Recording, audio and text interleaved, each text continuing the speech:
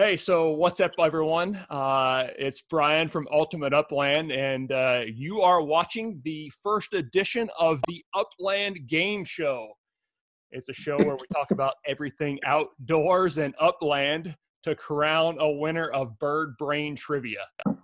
And uh, tonight, with us, joining us tonight, are the esteemed uh, Jason Funk and Steve the Wonder.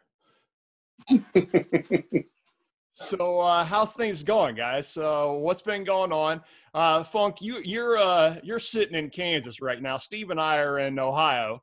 Um, so, uh, what's going on? Uh, for all of you who aren't aware, there's apparently a pandemic going on right now. Uh, is the state of Kansas locked down, Funk? Yes, sir. We've been uh, we've been locked down. This is week four that I've been working from home. We're trying to stay home. Luckily, uh, we live out in the wilderness, so it's kind of a good thing. I mean, it's a lot more time with the family, um, learning how to work from home, which is going pretty well, and things things are okay. I noticed you're cutting your own hair. Yeah, you like that? I, I I I shaved it last night just for you, man. I uh I, I actually was having to. Uh, I don't know if you guys could see. Uh, I got kind of like the Jersey Shore thing going on right now. Um, I, I, the last the last cut got a little out of hand. I don't know what was going on. And uh, Steve, I'm not sure what he's got going on. I'm working my way up slowly, but it started here. I'm just kind of slowly fading. I've got the semi monk cut going on right now, lightweight bowl cut. So yeah. So for those of you that, that, haven't met Jason and Steve, if you can see in the background, apparently this isn't about upland. This is about deer hunting. Um, so uh, you know, there's ducks back there too. Come on. yeah. Does that count? It, we're going to allow it. I mean, future shows, just so everybody knows, you're going to be penalized if there's deer in the background. Is he going to start out at a negative point total? so the way the show works I'll jump into that because you guys don't even know. I just invited you on, and I haven't really told you exactly how this is going to go down. But we're going to ask a series of questions from the official question stack. You guys are going to answer those questions. The closest one to a right answer or with a right answer will be awarded a point. After uh, uh, a series of questions, one of you will be determined the winner, and that winner is going to receive. And you're going to like this because I went into the vault for this one. I went and I found a vintage, no longer available, Ultimate Upland T-shirt. and I think I like Steve's probably eating lots more during the uh, the COVID virus. He'll even fit in this one. And uh, so you're going to get the shirt and a uh, $25 Cabela's gift card. Nice. So that's what the winner gets. And then um, the loser. So we talked about this because, you know, there is no second place. So, um, yeah, the losers we determined. Uh, one of you two guys at the end of this deal is going to have to do a shot of uh, vinegar, I believe, right? What vintage vinegar do we have, Funk? What'd you, what'd you get? Well, I just went into the pantry and we've got what is it? Balsamic vinegar, and it, it's it's not bad, but I mean, it's not good either. And Steve, what what's uh what's your vintage of vinegar? Oh, I've got a shot glass with some apple cider vinegar. you guys need to be quiet. so let's tell everybody a little bit about um you guys' uh, uh, uh, bird hunting. Uh, I, I know your crews because we've done some hunting together. Um, but uh, you guys are GSP guys. Why don't you start, Funk? What's your bird hunting crew look like? How long you been bird hunting, and uh, what dogs you hunting with? I fell in love with bird hunting when I was about 13 years old. I'm 45 now, so 30 plus years. I made up. I love it. It's my favorite thing in the world. You see the deer behind me. I deer hunt a couple of weeks a year, but upland upland bird hunting is my favorite thing in the world. Big open country and a couple good dogs in front of me just makes me happy. I love it more than anything in the world. Uh, we we raise German short hairs. Um, I recently added a an English pointer to the mix just for fun. Um, we have too many dogs, but it's fun. We train dogs as well, so it works. What's the what's the dog count at right now, Funk? What what do you what, what do you got uh, in house right now? Uh, it's embarrassing. uh, seven, uh, seven right now. We just added a new pup. Um, but I've got teenage daughters too, so they've got their own dogs. So, so that makes more. But yeah, seven dogs, uh, five of which are bird dogs. Well, we can. Any dog will hunt birds. We know that. Well, yeah, I do have. I've got a weird one that I take every once in a while, but yeah, mostly my short hairs and now an English pointer will start next year. What about you, Steve? Bird hunting. Didn't come into it until gosh, early 30s. Deer hunted all my life. Duck hunting, a little bit of turkey hunting when they came back to Ohio. Uh, always wanted a dog, so I decided uh, German short hair, and got her from a really good kennel here in Ohio. Really lucky. Uh, the guy that owned the kennel, super nice guy, helped me out getting into NAVHDA and doing training and stuff with the dog. Really training you more than you are the dog when you first start out. So uh, yeah, after that, um, started going out west, trying to hunt some birds. Not a whole lot of them here in Ohio. And then uh, about three or four years ago, I ended up with my second short hair because I always wanted to have one after the first eight years with my first one. Just can't even imagine not being a bird hunter. Just yeah, all the great adventures I've had out west and yeah, with buddies and meet new people. So it's been amazing. Yeah. Well, since we know you guys are bird dog guys, that's going to lead us into our first question. Both you guys, GSP guys. Question number one You got your pads and paper ready? Yeah. Yes or no? Can bird dogs see blaze orange?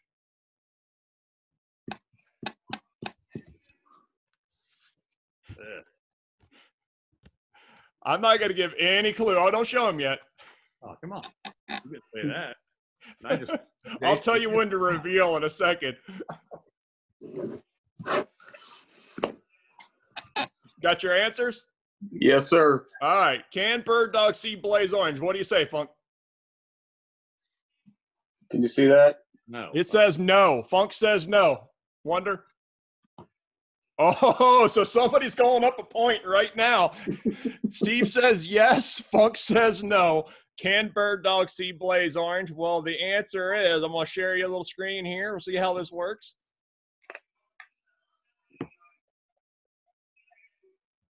And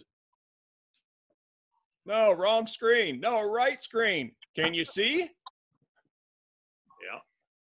Yeah. Uh, so no, no is right. Oh. Hang it. Well, Funk goes up one. Steve goes down one. I think it's pretty crazy that everything basically um, warm color over on dogs um, it, they see is this weird kind of gray yellow thing. I mean, that's kind of wild to me. Um, that is that is cool. Yeah, yeah. super cool. Um, so while we're on talk, topic of Blaze Orange and and, and Funk, you said you had uh, uh, daughters. Uh, what's your thought on uh, Blaze Pink? On Blaze Paint? Pink. Oh well, I'm all for it. You know, I mean, it's it's a little hard to find. I don't think they have any. I've got my 18 year old watching me here, so I don't think we have any Blaze Pink, but I'm okay with it.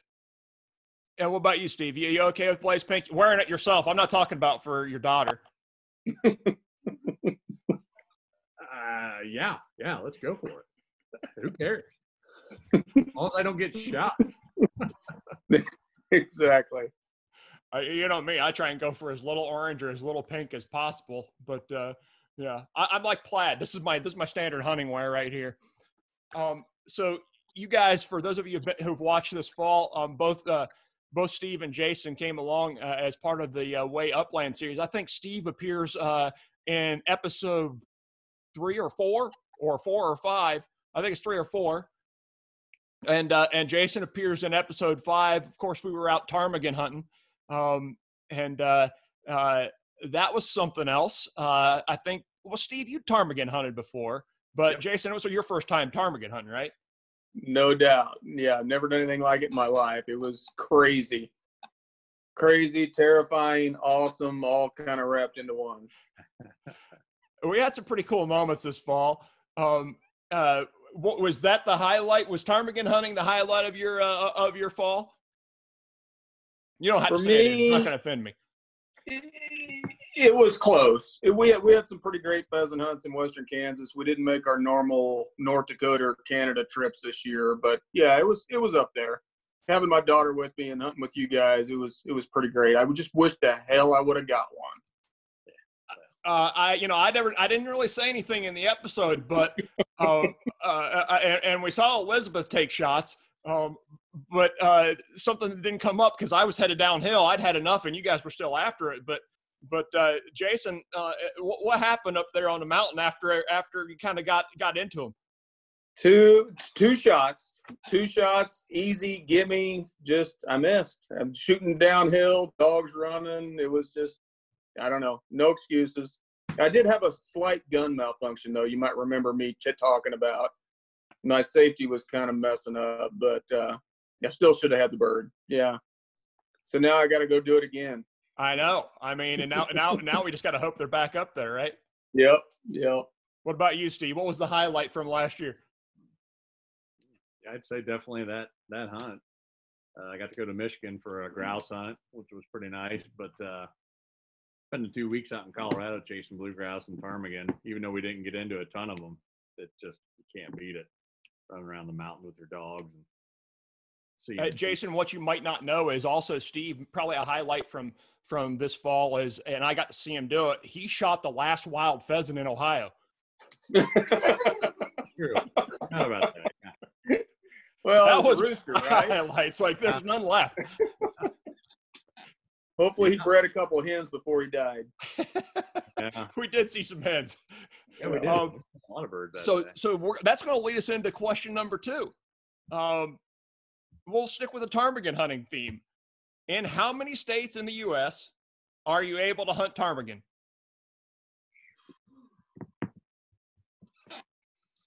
What about in the States?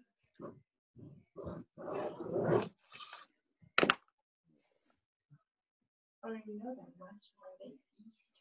Don't try to cheat. I'm just saying, I don't know. You got, you got your cheater on the side over there, Steve. Yeah, got she's your answer I ready? can't get on the She's she's she's sitting here. Hi. There's My you dog. the dog and the kid. Nice hair, brother. She's going to be on the next episode. We're going to pit you against her. She's she's smart. She's smarter than I am. Well, I'll make the questions dumb questions though. She'll never get them. All right, Steve, you got your answer. yeah, my best guess. All right, what's your guess? Uh, my best guess is five. Funk, what's your answer? Same thing. Oh, Oh, so uh, the real answer is oh, I sh- uh, the real answer is four. So uh, you're Uh. both wrong in that regard. I should put a bonus question out there for the four states, but I am assuming that if you guessed five, that you probably know. Um, I- I'll let. Uh, why don't you alternate, Steve? What's the what's the beside? Well, I'll give you the first one, and then we'll just go around around the horn. First one's Colorado. I got that one. I would say uh, North Dakota. No, well, that's why I got five. yep. Funk. What do you think? Wyoming. Oh, I really should have asked the bonus question. Oregon. Nope. Nope. Really? California, Colorado, Utah, Alaska. Really? Yeah. I, I never would have got California. Yeah. Um, I wouldn't think you know the the um the area that that they're uh, at in Cal or in California doesn't appear to be very big. I- I've never hunted them in California. I've hunted them Alaska, Colorado, and uh, and Utah. Um, but uh, yeah, the uh, uh, so I guess I, I I've still got to go go hunt them in California to round everything out, right? yeah. Yeah. I feel bad at So- so, the states that they're in now. Yeah. We uh we covered quite a bit of distance uh, uh hiking and I know Steve you're wearing a tracker on you so do I I wear a tracker Funk you wear a tracker on your on on when you're hunting No, just just the iPhone and the however accurate that counter is. That's what we. That's all I've got. You do you look at it after your hunts, or you just kind of go? Oh, uh, sure, sure. Yeah, definitely. It's kind of a badge of honor to see how many miles you've walked. What uh, What do you think your biggest walk was this year? 17 miles You walked 17. in Kansas. Sure. Yeah, but that, so that means the dogs probably ran 35. I- At least. I always I always figure it's twice what I do. Yeah, I've tracked it some, uh, and and I think most of the time Rio, my setter is going double or two and a half times, and Yeah. of course Labs, uh, Ida's going about one and a half, and Wyatt. Most of the time, I carry him, so uh, he, he- he's not going nearly as far. What about you, Steve? How far do you think you covered this year? Biggest biggest hunt? I think mine was like between 14 and 15. Yeah, getting after it. Yeah. Our biggest hunts in Colorado. Um, I don't know that day that you hunted with me, Jason. We didn't go that far, but No. you spun around up there on that hill quite a bit. Um, I think that I want to say that day was four or five. I mean, way less, but it's the elevation obviously changes the game. we only we only did two two thousand feet of vertical gain, and that one Steve Exactly. actually hit his highest uh, his highest uh, elevation this year, and I think we probably did on the hike into La Plata from the south. I'm guessing we did eight miles, maybe a little bit more, and elevation gain was, don't it was sick. Thirty five hundred. I didn't. We never made to the summit, so. But in that vein, so next question. How many steps does it take the average person to walk a mile according to the Los Alamos National Wellness Lab? Uh, this one sucks. I always make fun of people who count steps. I know. And, I, and and Steve's got the tracker on his arm, but he's not an average person. He's like a baby gorilla. So his steps are probably way less.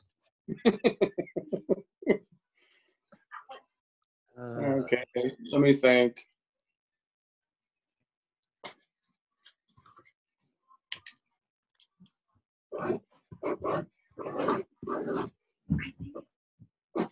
hmm,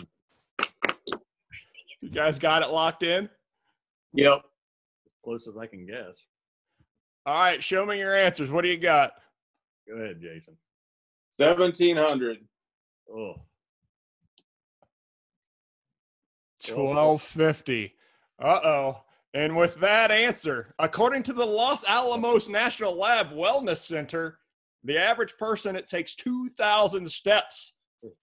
Funk pulls ahead with another point, two to nothing, Yes. With 2 I'm gonna go ahead and put questions remaining. remaining. Away. yeah, go ahead and put that away. It's all right. I'll blame it on dinner. I had a great big bowl of spaghetti. You got your bucket ready? Yeah. we we had venison shepherd's pie tonight. Oh, nice. Another Nice. knock against the bird hunter. The quarantine is treating you well. You don't Yeah. look like you've missed a couple any meals. Oh, thank you, thank you. I've been running. Okay, leave me alone. So let's talk about shotguns. Um, uh, what is uh, uh, Steve? What's your uh, standard carry shotgun? And then, uh, if you could have any shotgun you, you could think of, uh, what would what would you what would you use?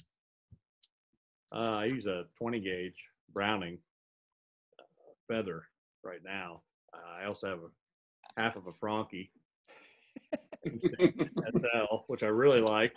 Uh, if I could have a shotgun, I think either one of those right now I'm completely satisfied with. I don't I don't really know enough about any other models that uh, I've shot a bunch of other ones, but I really like my Browning. Yeah. What about you, Jason? My current favorite gun in, in the safe is a CZ 28 gauge side by side. It weighs about five pounds. I just love it. Um, kills birds like crazy. Pheasants. I mean, it, you think a 28's not big enough, but it's that's that's my favorite. But it's also my daughter's favorite. So I often don't get to carry it. So I've got a 12 gauge over and under. Um, my favorite would be, I don't know. It's hard to say. Anything in the fifteen to twenty thousand dollar range, custom made, crazy fancy, you know, double barrel. I'm a, I'm a double barrel guy. I'd pro- a twenty. I'd probably like to have a twenty. I've never had a twenty. Yeah, I think we're all uh, we're all the doubles guys. But that brings up our next Yeah. question. In 1909, A.H. Fox delivered a 12 gauge grade F side by side to Teddy Roosevelt, who said, I really think this is the most beautiful gun I've ever seen. In 2010, it was sold at auction. How much did it bring? I'm going to show you a picture of it.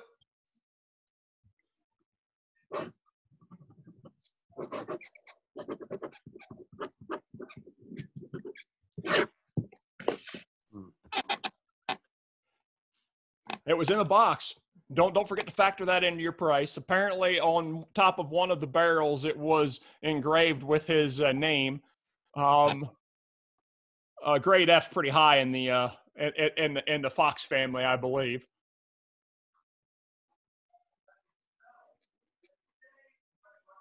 Got your guess worked up, Steve? No clue. Yeah. I know that's what makes these questions great because No. neither one of you has an advantage. They are good. All right, let's see your answer. Let's start with Funk. 1.2 million. 1.2. That's a good guess. Good guess. Steve, what about you? 250k. 250K. Not. Well, unfortunately, um, an attorney in Texas got that gun and he paid $862,500. What a crazy person. You wouldn't want you wouldn't pay that for Teddy Roosevelt's gun? No. Well, I think that Funk's closer, so that makes it three to nothing in favor of Funk. Let me get let me ask you this one. You say you get that gun. Would you shoot it? Uh, no doubt, yes. Absolutely. Yep. No, I would sell it. Steve's gonna sell it and buy property. That's right. I'd shoot it first. I'd put a good Yeah. scratch on that thing. I'd fall on it somewhere. You know how the rib on my guns, my gun's bent, like I showed you guys. I'd definitely, I'd put a nice ding in that thing. I'd be like, yeah, okay, you can have it now. You you wouldn't fact figure that that would probably de- degrade the value. Funk, you ever do any? Um, what was the first bird you shot out there in Kansas? Was it a pheasant or uh, are you a lifelong Kansas guy? Lifelong Kansas. When I was a kid, it was quail. Bob White quail were everywhere in the in the 80s. Um, just before I could drive, walking them up from my folks' house, they were just everywhere. I mean, 10 covey days were nothing. So grew up shooting Mr. Bob White. There was a few pheasants around. Fell in love with pheasants. That was that was how I grew up. What about you, Steve? What was your first uh, upland bird? Wild. Uh, pheasant out in South Dakota, followed shortly by sharp-tailed grouse. You remember the the, uh, the days when we could actually hear Bob White here in Ohio? Nope. It's a long time ago, but we had him. Um, I remember out at my grandpa's house. Uh, uh, he had a little pasture. It was kind of uh, in a swale. You probably actually been out by there, Steve, when we were growing up at one point. And uh, um, we up there by the garage in the morning. You'd go out there and you could hear him down in the pasture. They'd be down in there, and you could hear him calling. And uh, of course, that was. I mean, I, it's it's surprising I can remember that because that would have been before '78 or right there at '78. Um, and then the, the blizzard came by and killed everything. But Steve got his first uh, wild quail in in uh, in Kansas. Yeah cut it in half. It's a good shot, a little close. Yeah. so speaking of quail, let's just move on to the last question. Even though at this point, I mean, eating. Funk has Funk has the lead and can't be beat. but let's go ahead and ask the final question. According to Calorie King, how many calories are in a whole skin-on quail?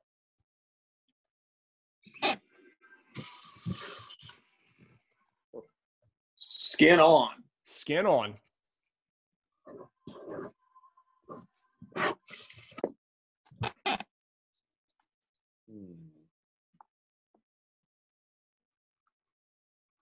Steve's taking it pretty seriously. I- I no clue. No clue. Just It's just for pride now. It's He's only got to for get one. Yeah. 185 calories. Steve gets 185. What about you, Jason? 400. Ugh. Well, Surprise, surprise, surprise. Steve finally wins a point. 209 calories in a quail, according to Calorie King. Hmm. So there you have. I did have a um a a tiebreaker question, but I I I, I could reserve it, or we could double down. I mean, No, I only have one shot down here, so well, congratulations, Jason. Uh, you are the first official winner of the Upland Game Show uh, pandemic version. Uh, uh, uh, you get the the uh, magical from the vault T-shirt. You get the gift card. It'll be uh, dropped in the mail to you if the uh, post office is still open uh, tomorrow. and without further ado, let's go ahead and watch Steve do his shot of vinegar. upland.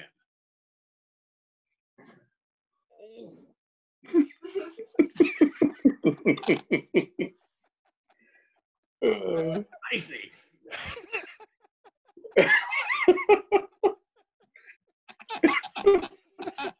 Yeehaw. I didn't throw up. Yay. not yet. Well, hey, it was great seeing you guys. Uh, I look forward to uh, future adventures with you. Thanks for participating in the first ever Upland Game Show. Uh, for those of you who are interested in participating in the future, uh, go ahead and DM us. Uh, leave comments about the questions uh, that we asked tonight. Uh, if you've got ideas for other questions, feel free to leave comments. Um, of course, smash that subscribe button down there. That will certainly help us out. And uh, uh, let's keep it real. Everybody stay safe. Keep your social distance, I guess. And, and we'll see you next week with the next episode. Thanks, guys. Thanks, Brian.